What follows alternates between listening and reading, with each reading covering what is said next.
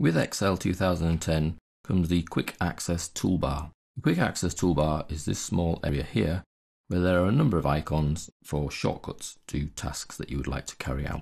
Now we can move this Quick Access Toolbar from the top of the ribbons, if we click this little drop down here, to say show below the ribbon. And it moves here.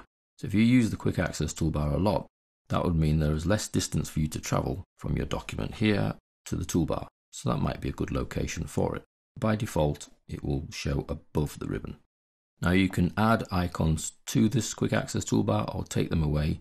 Again using the drop down and you'll see some common quick access toolbar options. New, open, save, email, quick print, print preview, spelling, undo, redo, sort ascending, sort descending and open a recent file.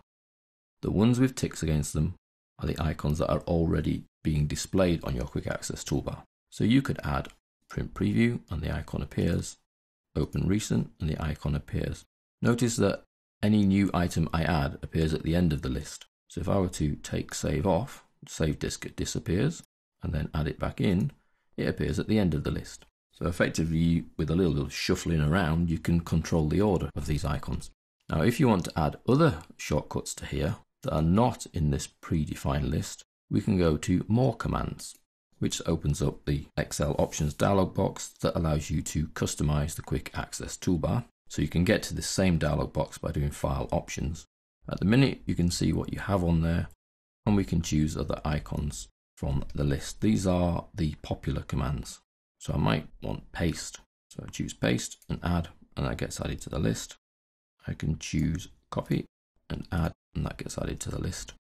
And let's have cut and add and that gets added to the list. The other thing I can do from within here is control the order using these up and down keys. So I could choose cut and move it up so it appears before paste and the same for copy. So I now have cut, copy and paste in that order, but I'd still like save to be at the end. So I can control the quick access toolbar and the icons that appear on there and the order that they appear using this Excel options quick access toolbar.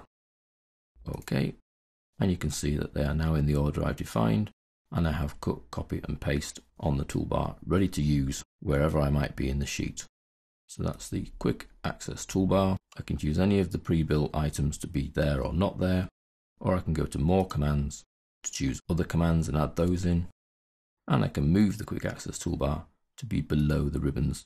Should I be quite commonly using this, it makes sense for it to be nearer, so there's less distance to travel for me to click an icon.